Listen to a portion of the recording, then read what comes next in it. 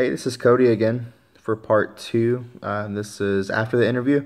You already got the wireless retail sales consultant job. So, what to expect going into it? Uh, no matter what company you go with, you're going to have um, pretty extensive new hire training that they'll go over with you, teach everything you need to know, or hopefully everything you need to know. A lot of times you'll still have to pick up a bunch of stuff when you get out, but you'll know the basics of it.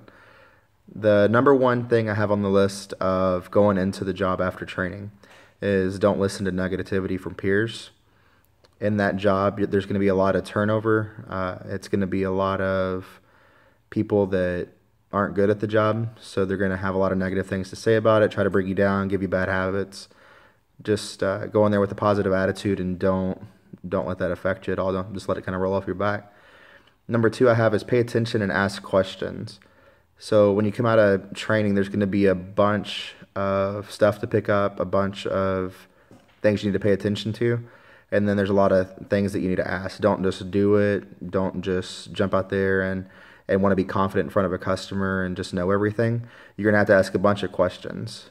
Find the right people to ask, whether it's management, peers that have been there and are successful that you can trust, and uh, just ask and ask and ask and ask. You'll have to ask almost everything for your first few months and until you've seen that scenario um, and your second or third, fourth time, and you're comfortable with it, know what to do.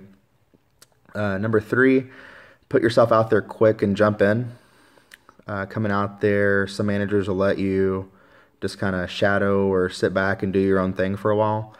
Um, just right off the bat, you want to put yourself out there. You might not be able to help with everything, but you don't want to be that person that's shy and not talking and, and just out there, you know, to themselves. Go ahead and jump in and, uh, and, and just get after it. Number four is always aim to learn something new, whether it's books, audio, trainings. Uh, my personal is Grant Cardone. I love Grant Cardone. He has a bunch of awesome stuff. Uh, you can follow him on Twitter as well at Grant Cardone. Um, just just tons of stuff, tons of stuff that that he can help you with. There's a bunch of uh, motivational things, people that have been there, done that, that can help you out um, that that I always learn something new. I listen to his podcast, listen to his uh, GCTV, all his new stuff that comes out.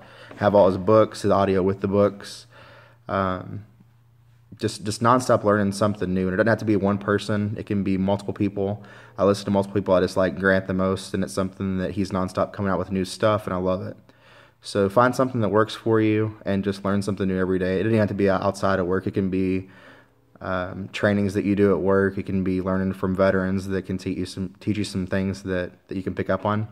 Uh, just always aim to learn something new every day you go into work. Number five, um, when you're selling, never think with your wallet. You always want to pitch everything, hit every zone, and offer it as if they can buy everything.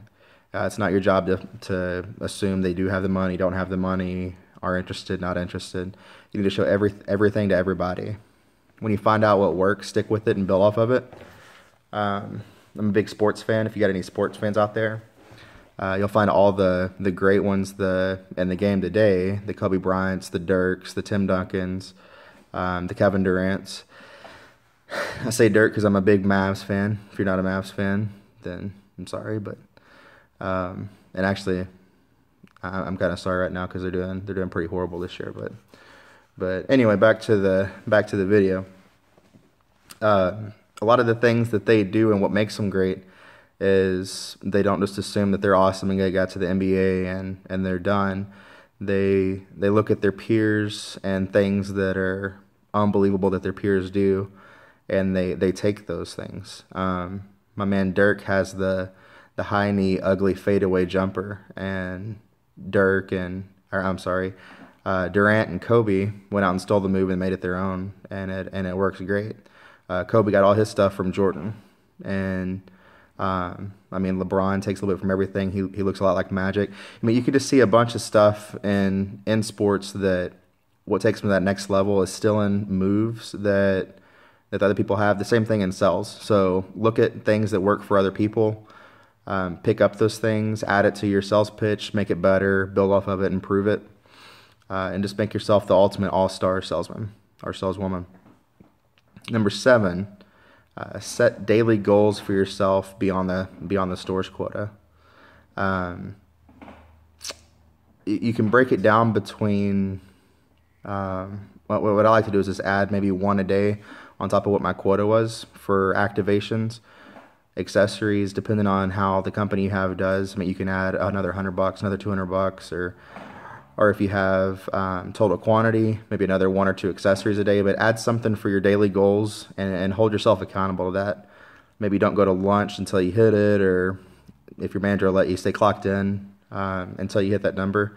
Just hold yourself accountable and, and don't let it be one of those things where you just make a quota for yourself just to, to make it um, have meaning to it. And then number eight is have fun and bring energy. Um, in the wireless industry, you got to have a ton of fun with all the customers. Sometimes you're going to have customers that are grumpy, they hate that they're there, they hate you, they hate the company, they hate everything everything about it. Uh, and you just got to, you know, get those in and out and do what you have to, but um, you got to have fun and bring the energy with every customer.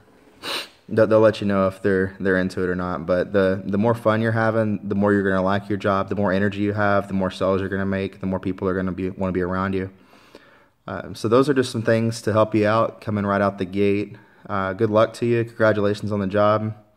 And again, my name is Cody Jordan from Austin, Texas. You can follow me on Twitter at Cody Jordan Atex. If you have any questions, just let me know. Thanks.